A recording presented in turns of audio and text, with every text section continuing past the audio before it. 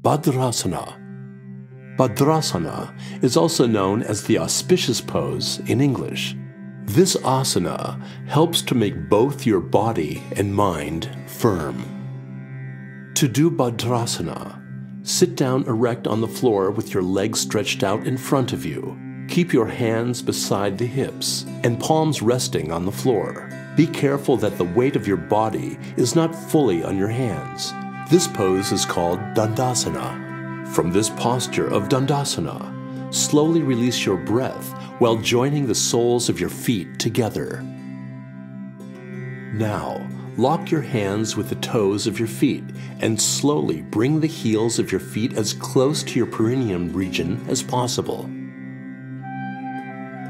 In doing so, if your thighs are not touching the ground, then you can support them by keeping a pillow underneath them. Bhadrasana is Viramasana, the state of sitting in one position for a long time. Close your eyes in this position and breathe in and out normally.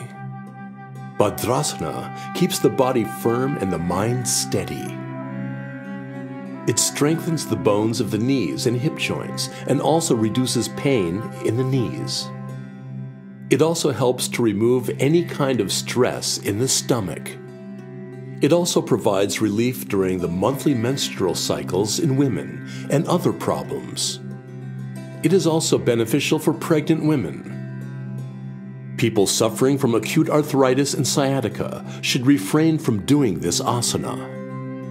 Keep sitting still in this position for some time. Open your eyes. While slowly taking your breath in, stretch your legs to the front. Stay relaxed in the Dandasana pose for some time. Bhadrasana affects the innermost organs of your body and makes your entire body healthy.